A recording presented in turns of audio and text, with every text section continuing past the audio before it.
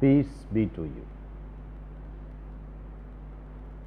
The Gospel today invites us to reflect on the important Decalogue Thou shalt not kill.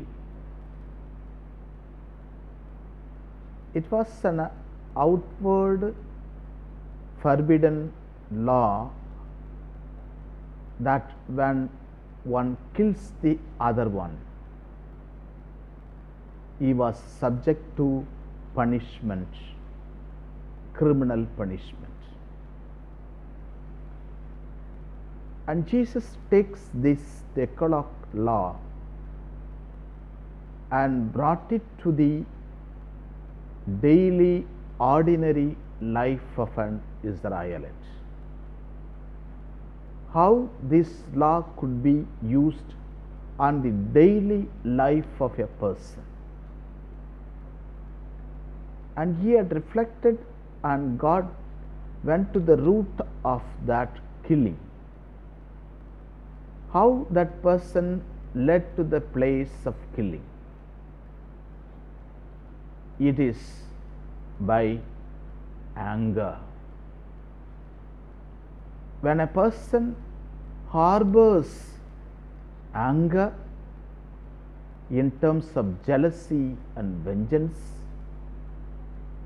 when anger harbored for longer days, it comes out of a person as human actions of killing.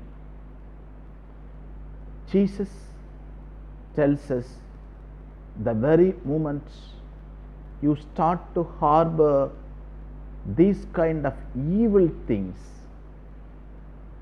you are on the path of killing other person. So, Jesus invites us to strike at the root of the anger and killing.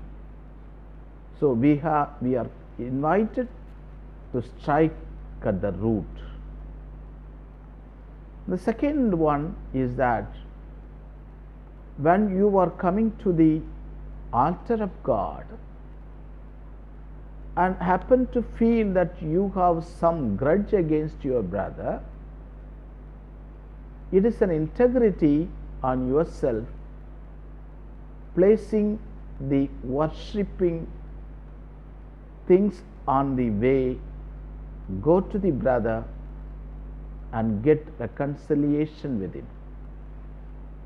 Without that, your offering will become waste. Not only that, your brother will take you to the court and you will be put into prison. So, let us have a good relationship, making peace, making forgiveness. When we make peace and forgive the other one, there will be no necessity of law for forbidding a person from killing. So, let us, in a special way, change internally accepting our own and accepting the other one. Heavenly Father, we thank and praise you for all the gifts you have showered upon us. Thank you, Lord, for this beautiful day. Be with us, Lord. Strengthen us, heal us, for we are your children. Many a time, Lord, we harbor so many evil things in our hearts, and finally, it reaches out with the evil actions be with us so that we may strike strike at the root of the penury.